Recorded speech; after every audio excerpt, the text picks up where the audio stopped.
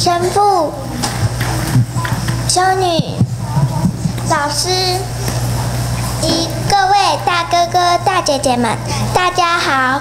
我是永和圣母升天堂三年级姚丽瑜。我今天要讲的故事是耶稣进食三退魔药，就是在约旦河受洗以后，天父想磨练耶稣，就让魔鬼给他三次诱惑的故事。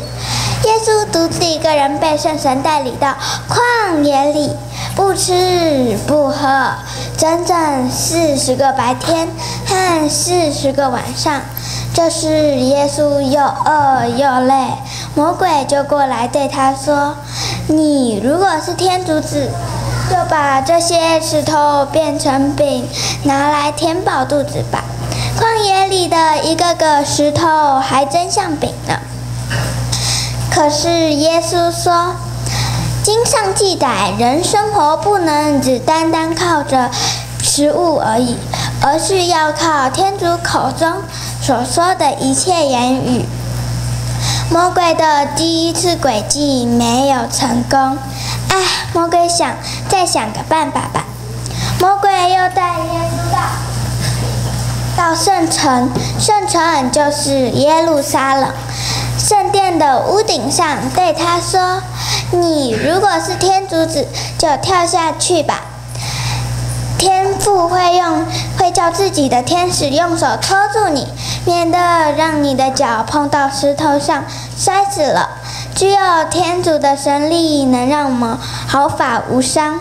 可是耶稣说，经上记载，你不可以试探天主，你的天主。魔鬼的第二次诡计没有成功。